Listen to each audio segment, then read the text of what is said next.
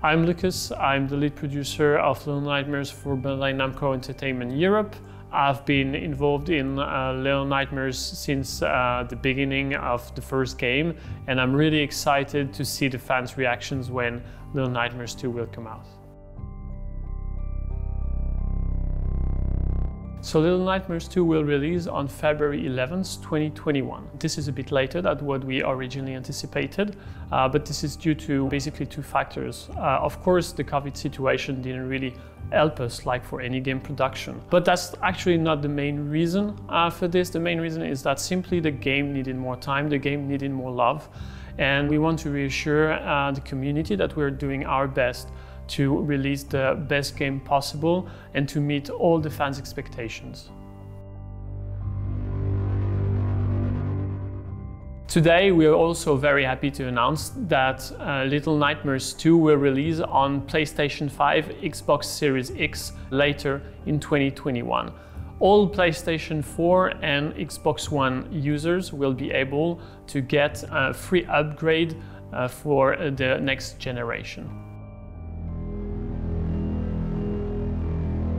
In addition to uh, the new trailer and the release date announcement, we are very pleased to show at Gamescom this year for the first time a 15 minute gameplay footage of the game and we are very happy to show everyone how the game has evolved since the first opus.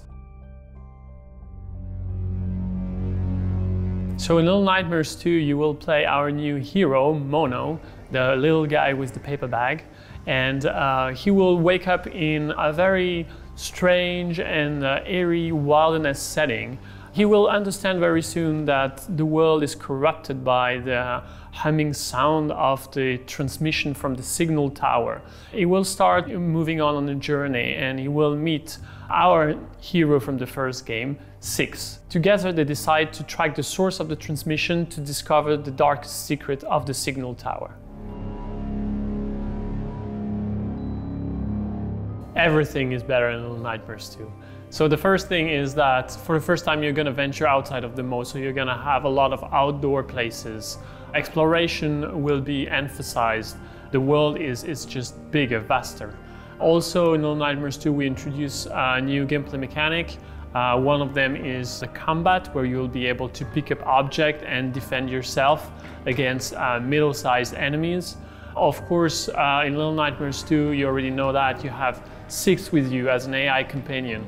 That relationship is really unique, uh, and we are very confident that this gonna uh, deliver uh, an experience that is very different from the first game. We've improved uh, controls uh, since the first game, and also Little Nightmares 2 will be about twice the size of Little Nightmares 1.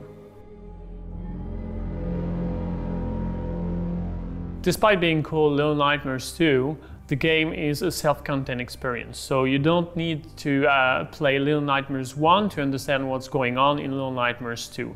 However, of course, we have uh, a nice story that uh, is connected to the first game and the fans and the community will be delighted to find pieces of lore in, in the new game.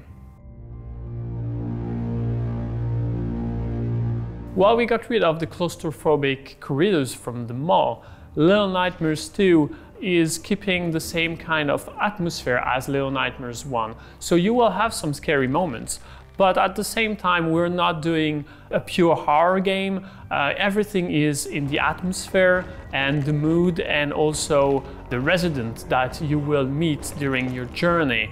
Uh, definitely Little Nightmares 2 is not a great place for visitors, for those children who are here in this world trying to survive. So we recommend that uh, Little Nightmares 2 is played only by people uh, 16 and above. Our new hero Mono uh, has different capacities compared to Six. So he's able to pick up objects in the uh, environment and use them as a weapon uh, in the game. So he might be able to fight back enemies that are attacking him, uh, or he might also be using objects to solve puzzle and progress to the next room.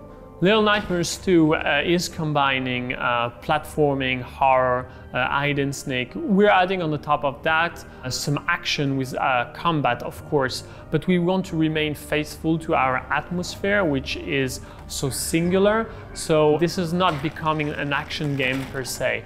Uh, we see it as uh, an enrichment to the current recipe, but this is not a shift.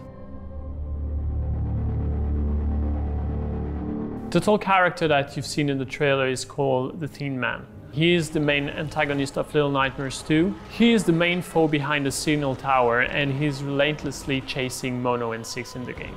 So you've already seen the Thin Man in the trailer. You can see that he has uh, a very unique capability to chase you and that's very interesting.